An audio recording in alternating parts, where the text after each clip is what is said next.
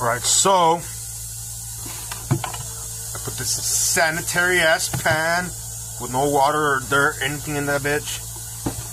Fucking all that jazz. And then I'm gonna fucking get the torque converter because it dropped water from it when I was slipping it in. You know, you fucking slip it in real quick so um, you don't drop any of the oil. And I did that, but I did drop some of it because it was almost topped off. And um, I guess it was almost topped off because there was fucking water in it. And I'm gonna take it out and see what the fuck comes out. See if there's not a gang of water in there, which already is bad, bad fucking news.